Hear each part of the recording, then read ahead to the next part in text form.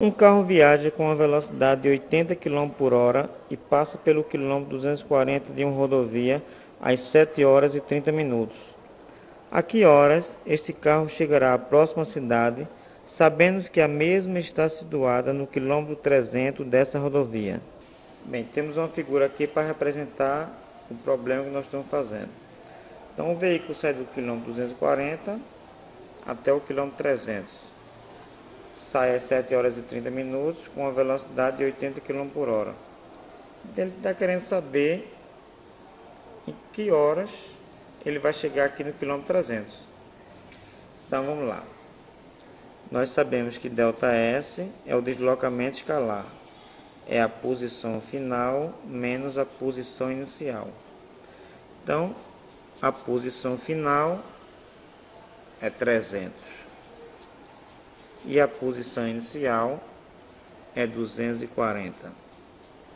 300 menos 240 dá 60 km. Então isso quer dizer que ele percorreu 60 km.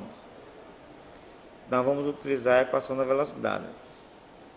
Velocidade é ΔS, que é o deslocamento escalar, dividido por ΔT, que é o intervalo de tempo. A velocidade ele já deu, que é 80 km por hora. Então 80 é igual a ΔS, que é o deslocamento escalar, que nós já calculamos que é 60, sobre ΔT. Multiplicando meio pelos extremos, 80 vezes ΔT dá 80 ΔT. Quando não tem nada aqui é 1, 1 vezes 60, 60. 80 está multiplicando, quando passar para o outro lado, passa dividindo.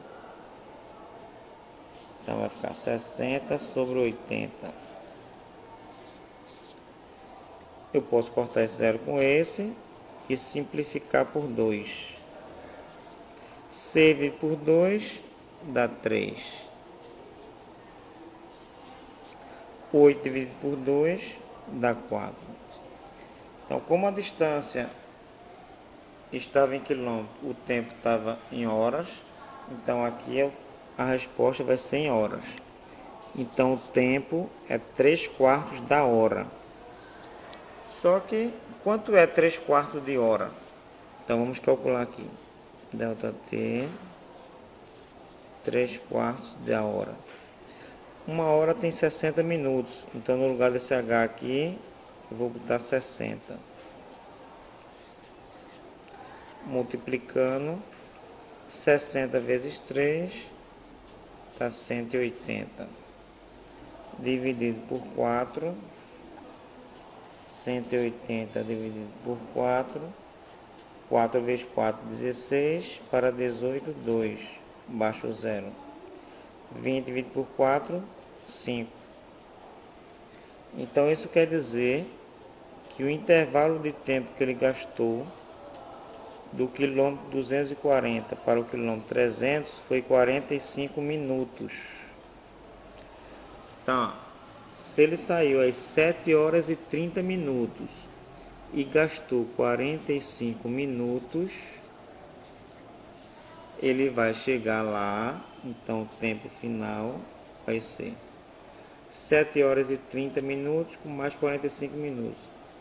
Se fosse mais 30 minutos, 7 horas e 30 minutos mais 30 minutos dava 8 horas. Mas não foram 30 minutos, foram 45 minutos, então ainda faltam 15.